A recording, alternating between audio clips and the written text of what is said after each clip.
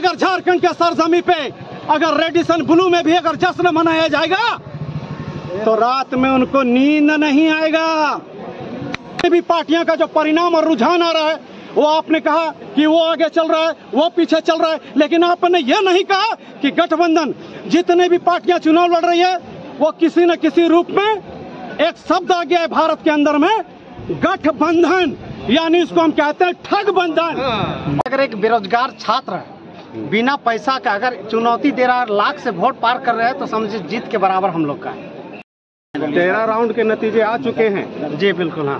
BJP 300 के अंदर और आ, इंडिया गठबंधन 200 के पार है। क्या कहेंगे आप? देखिए सबसे पहली बात कि छात्र नेता देवेंद्र नाथ महतो है। एक गाँव से एक शहर आए थे पढ़ने के लिए। और अगर एक बेरोजगार छात्र बिना पैसा का अगर चुनौती दे रहा है लाख से वोट पार कर रहे हैं तो समझिए जीत के बराबर हम लोग का है। जेबी केसेस का समझे एक तरह से जीती है। आज तक से ये रिकॉर्ड तोड़ रहा कितने बड़े बड़े पार्टियों को ये टक्कर देना, उन्नीस सौ पचासी से ये लड़ रही है बीजेपी।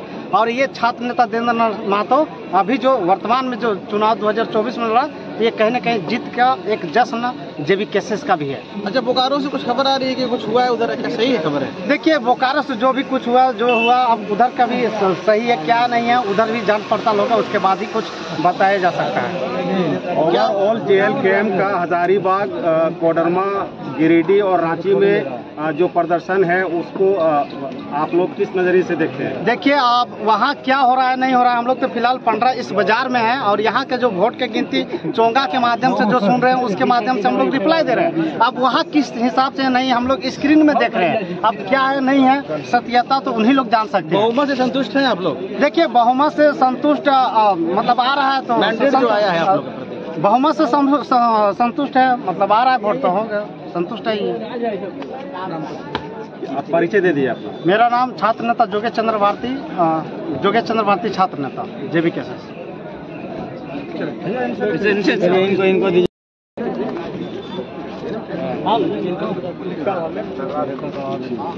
नतीजों के बारे में क्या कहेंगे आप?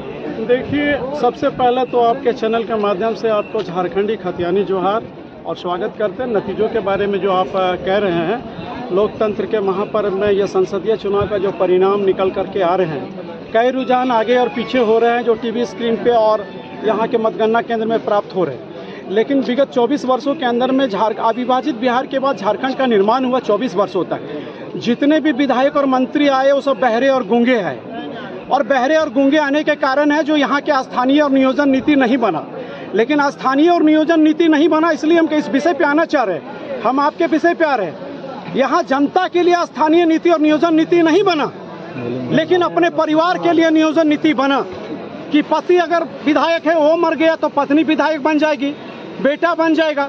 लेकिन हम लोग का जो छात्र का जो मांग था, यहाँ की जनता का जो मूलभूत जो मांग है, जो चिर परिचित मांग है, वो आज भी मांग है कि यहाँ का 1932 के आधार पर स्थानीय नीति खाद्यान्न नीति, नियोजन नीति, विस्थापन नीति और पलायन नीति और रोज़गार नीति बनना चाहिए। हम इस मांग पे पहले भी अड़े थे और आज भी अड़े हुए और बता देना चाह रहे हैं कि जो जो चुनाव के परिणाम आ रहे हैं, जो रांची लोकसभा के पंद्रह के परिणाम प्रांगण में, कोडरमा के प्रांगण में जो टीवी स्क्रीन के माध्यम से धनबाद संसदीय क्षेत्र में जो आ रहे हैं, तमाम झारखंड के तमाम कंस्टिट्यूंसी लोकसभा से जो परिणाम आ रहे हैं, हम इसका स्वागत करते हैं, लेकिन आपको बता देना चाहते हैं कि एक हेलीकॉप्टर वाला और एक हवाई चप्पल वाला, जो 24 वर्षों के अंदर में झारखंड के सरजमी से जो सोए हुए लोगों को, जो झारखंड की माए और माटी को जगाने का काम लगातार तीन वर्षों तक किया है, और हम लोगों ने यह बेड़ा उठाया है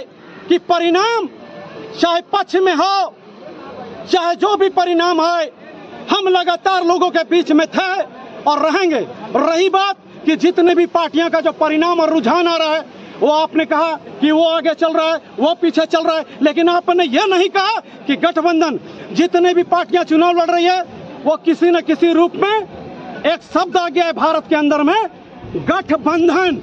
यानी इसको हम कहते हैं ठग बंधन और हमारा टाइगर जेबी केसस के जो है टाइगर जयराम महतो न किसी ठग बंधन में, न किसी गठबंधन में हम अपने बैनर से न किसी से पैसा, न किसी से रुपया आपने सोशल मीडिया के माध्यम से देखा होगा।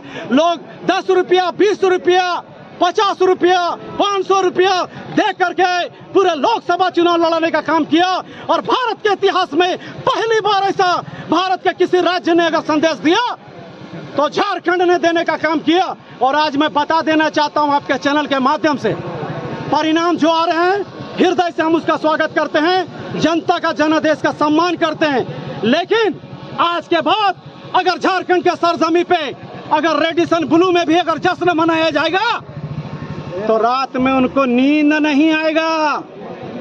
और नींद नहीं आने का कारण टाइगर जयराम महतो है, जो झारखंड का टाइगर है, जिसकी दहाड़ पूरे दिल्ली की राजधानी तक जा रहा है। और हम बता देना चाहते हैं, ये मेरा जो था, शुरुआत था, एक टर्निंग पॉइंट था, जो हमने अपना मिशन में कामयाब हो गया।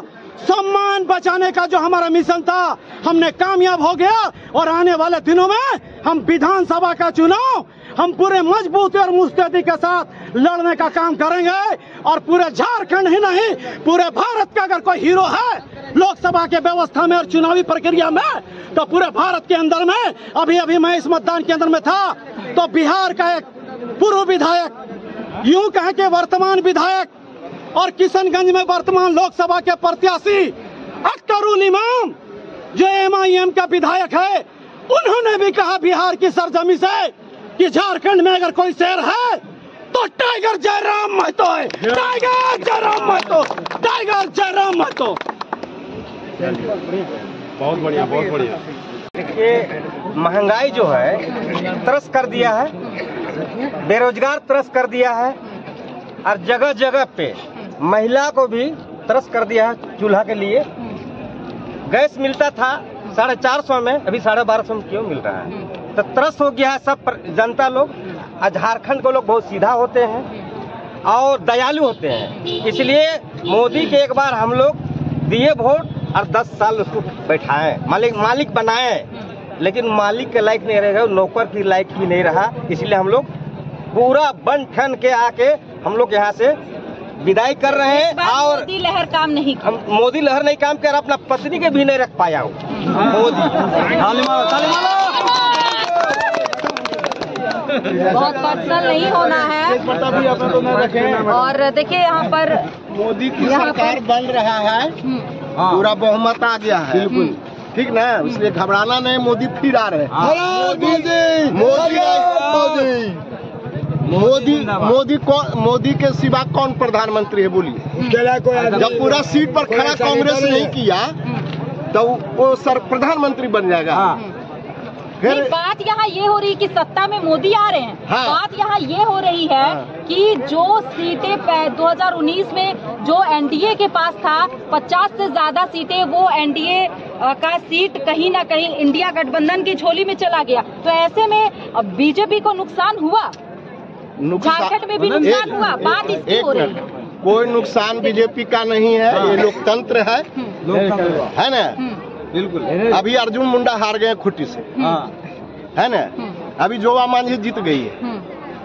तो सवाल उठता है कि चलिए हार पर भी बोलने हाँ, वाले मुझे एक एक शख्स हार हैं, जीत- ये बहुत अच्छी बात है। हार जीत तो होना है। हार जीत नहीं तो निर्विरोध हो। जाता चुनाव। बिल्कुल लोकतंत्र में ये संविधान ये संविधान बना है। यही मैं कह रही हूँ जितनी मजबूती से पक्ष है उतनी मजबूती से विपक्ष को भी होना चाहिए। हार पर भी बोलना बोलना बेहद ज़रूरी है। अर्जुन मुंडा अभी उड़ीसा में अभी उड़ीसा में विधानसभा का भी बीजेपी जीत गया पूरा सीट। तिहत्तर सीट आ गया और वो लोकसभा में पूरा सीट। अच्छा अंकल आ, आ, आप बिल्कुल मैं ये जानने की कोशिश करूँगी कि जो देश में जो लोकसभा के चुनाव हुए और लगभग लगभग लगभग 50 सीटें ऐसी है बीजेपी की जो इंडिया गठबंधन के पास चली गई।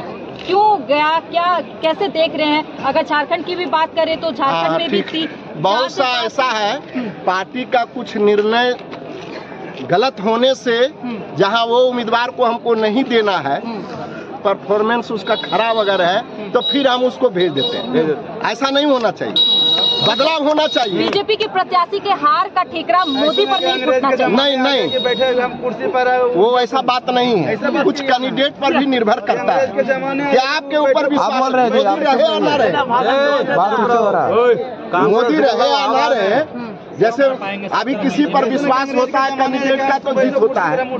यही बात। जीत हार तो लगा हुआ। है लेकिन जनमानस का व्यू क्या है देश के प्रति राष्ट्र के प्रति वो साफ़ झलक रहा है मोदी के प्रति। बात खत्म हो गया बिल्कुल